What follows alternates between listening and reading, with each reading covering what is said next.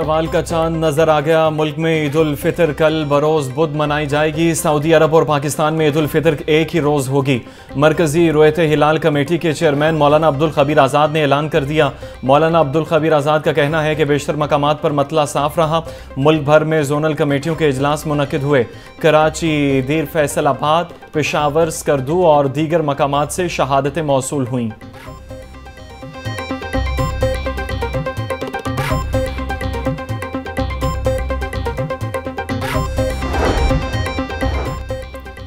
कौन कहाँ ईद मनाएगा? सदर ममलकत आसिफ अली जरदारी नवाब शाह में ईद मनाएँगे। वज़ीर अजम शहबाज शरीफ, उनके भाई नवाज़ शरीफ और वज़ीर अला मरियम नवाज़ लाहौर में ईद की खुशियाँ बांटेंगी। स्पीकर कौमी इसम्बली अयाज सादिक लाहौर में ईद मनाएँगे। नौमंतखब चेयरमैन सेनेट यूसुफ रजा गिलानी, मुल्तान बिलावल भुट्टो जरदारी लाड़काना में ईद उल फितर मनाएँगे। बानी पीटीआई अडियाला जेल में ईद मनाएँगे।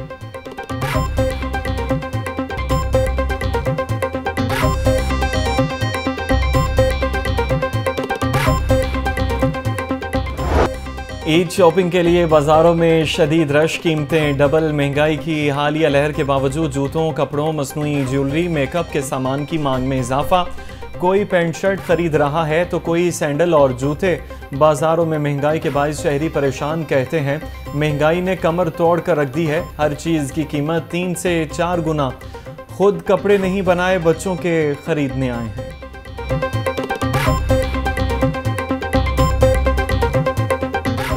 मेहंदी और चूड़ियों के बगैर ईद अधूरी मेकअप मैचिंग दुबट्टा भी ज़रूरी। चूड़ियों के स्टॉल्स पर रश खातन रंग बरंगी मनपसंद चूड़ियाँ खरीदने में मसरूफ़। सबसे जुदा और दिलकश नज़र आने के लिए ब्यूटी पार्लर पर अलग डेरे।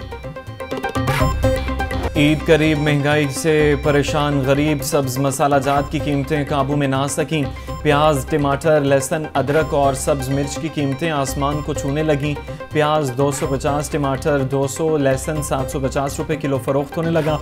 अदरक 700 टींडे 380 बैंगन 100 रुपए किलो में दस्तियाब। फलों की खरीदारी जेब पर भारी अंडे और गोश्त भी महँगे दामों फरोख्त। जो चीज़ पाँच दिन पहले सौ रुपये किलो थी, वो अब दो सौ रुपए किलो में मिल रही है। टमाटर अगर तीन दिन पीछे चले जाएं तो सत्तर अस्सी रुपए किलो थे अब एक सौ अस्सी दो सौ है गरीब बंदा क्या लेगा परसों जो टमाटर थे सौ रुपए किलो थे कल बिके ढाई सौ रुपए किलो तो अब आप खुद सोचे कि एक चौबीस घंटे से अब बारह घंटे में जो है डेढ़ सौ रुपए टमाटर महंगे हो जाए तो अब ना आप कुछ कर सकते हैं ना मैं कुछ कर सकता हूँ ਯਕੀਨ ਕਰੋ ਈਦ ਆਉਣ ਵਾਲੀ ਹੈ ਨਾ ਅਬ ਆਉਣ ਵਾਲੀ ਕੀ ਆ ਗਈ ਹੈ ਤੇ ਤੁਸੀਂ ਮੰਡੀ ਦੇਖ ਲਓ ਜ਼ਰਾ ਰਸ਼ ਨਹੀਂ ਹੈਗਾ ਹਰ ਚੀਜ਼ ਮਹਿੰਗੀ ਹੋਈ ਪਈ ਹੈ कोई खरीदने वाला नहीं है वज़ीर अला मरियम नवाज़ की ईद पर सिक्योरिटी के फुल प्रूफ इंतज़ाम करने की हिदायत, चाँद रात और ईद उलफितर पर मुतल इदारों को अलर्ट रहने का हुक्म। मार्केटों, बाजारों और शॉपिंग सेंटर्स में पुलिस की इजाफी नफरी तैनात की जाए। अमन आमा के लिए पुलिस को मेहनत और जानफिशानी से काम करना होगा। सिक्योरिटी प्लान पर हर सूरत अमल दरामद होना चाहिए वज़ीर अला मरियम नवाज़ की वार्निंग। पुलिस का चाँद रात और ईद उल फितर पर सिक्योरिटी प्लान तैयार। लाहौर समेत तमाम अजला में बावन हज़ार से जायद अफसरान एहलकार तैनात होंगे। लाहौर में ईद उल फितर पर आठ हज़ार से जायद एहलकार सिक्योरिटी ड्यूटी देंगे। सेफ़ सिटीज़ अथॉरिटी के कंट्रोल रूम से मसाजिद, इमाम बारगाहों, हसास मकाम की निगरानी भी होगी। हवाई फायरिंग, वन व्हीलिंग और हुल्लड़बाजी करने के वाक़ात रोकने के अहकाम जारी। खातन को हरासा करने वालों को जेल की हवा खाना पड़ेगी। ईद उल फितर अपनों के संग मनाने की फ़िक्र परदेसियों की आबाई शहरों को वापसी बस अड्डों ट्रेनों में रश ट्रांसपोर्टर्स की जानब से किरायों में खुद साख्ता इजाफे से मुसाफिर परेशान मुसाफिरों को अला हुकाम से नोटिस लेने का मुतालबा। लिया जाने सुबह आठ बजे के जलील हो रहे हैं कोई टिकट नहीं मिल रही है हमको। सुबह आठ बजे के जलील ही कर रहे हैं हमें ये। बावलपुर जाना है मगर कोई टिकट्स नहीं है कुछ नहीं है। सुबह आठ बजे से आए हुए हैं अभी तक टिकट। नहीं ईद उल फितर पर ट्रेन मुसाफरों के लिए अच्छी खबर। तीन दिन किरायों में 25 फ़ीसद रियायत का ऐलान। किरायों में कमी तमाम मुसाफिर ट्रेनों की तमाम क्लासेस के लिए है।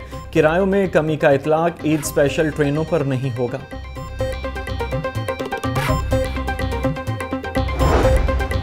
ओवर चार्जिंग और ओवरलोडिंग पर ट्रैफ़िक पुलिस का एक्शन जारी, परदेशियों से जायद किरायों की वसूली पर 360 गाड़ियों को जुर्माने। बसों में मुकर तादाद से जायद मुसाफिर बिठाने पर एक सौ बानवे गाड़ियों के खिलाफ कार्रवाई की गई।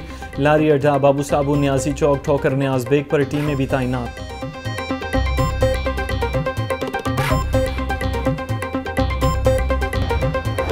ईद उल फितर पर एलडीए की वर्क चार्ज मुलाजमीन के लिए बुरी खबर 2000 से जायद वर्क चार्ज मुलाजमीन तनख्वाहों से महरूम।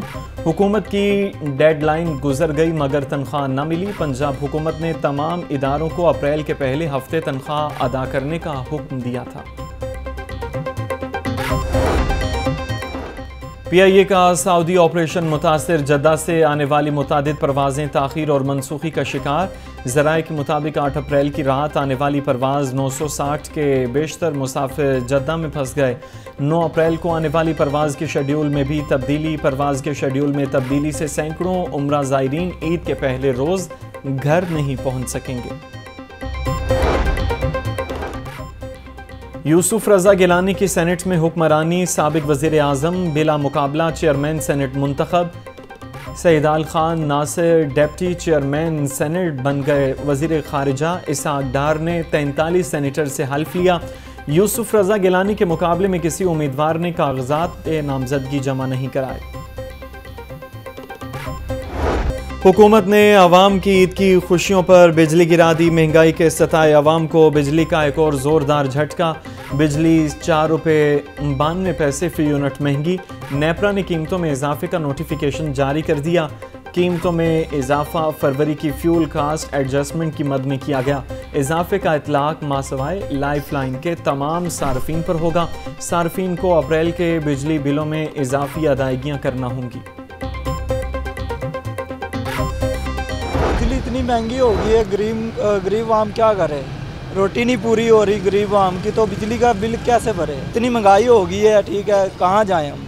गरीब तबका। न कारोबार है तो न महँगाई दिन ब दिन बिजली का कीमत भी बढ़ रहा है हर चीज़ का कीमत बढ़ रहा है किराया भी बढ़ रहे हैं। काम शाम है कोई नहीं तो बिजली महँगी की थी आए दिन पेट्रोल महँगा हर शह महँगाई बहुत हैगी। बिजली, महँगी, बेइंतहा, शहरी हुक्मरानों पर सीफा कहते हैं, खाना खाएँ या बिल दें, खुदकुशी हराम ना होती तो कब के मर चुके होते?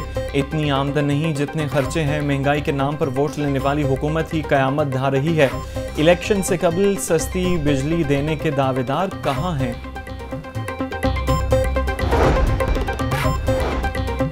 इनकम टैक्स एपलेट ट्राइब्यूनल का बड़ा फैसला। एक अरब रुपए के इनकम टैक्स पर appeal मुस्तरद।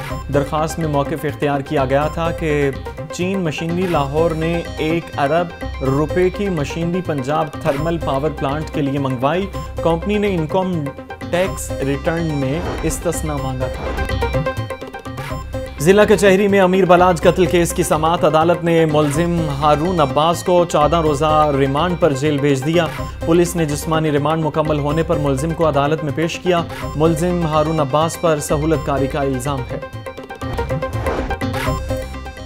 Director general F I A Ahmad Ishaq Jahangir का F I A Lahore zone का दौरा। सरफराज विर को और तमाम सर्कल इंचार्जेस को D G F I A का इस्तकबाल किया। डायरेक्टर जनरल एफ़ आई ए की जेर सदारत इजलास भी मनद हुआ। डी जी एफ़ आई ए को बिजली चोरी और ओवर बिलिंग के हवाले से ब्रीफिंग दी गई। इंटरमीडिएट पार्ट टू के इम्तहान का आगाज़ उन्नीस अप्रैल से होगा। लाहौर बोर्ड ने उम्मीदवारों को रोल नंबर स्लिप जारी कर दी। प्राइवेट उम्मीदवार वेबसाइट से रोल नंबर स्लिप हासिल कर सकेंगे। रवा साल एक लाख पचानवे हज़ार बच्चे इम्तहान देंगे।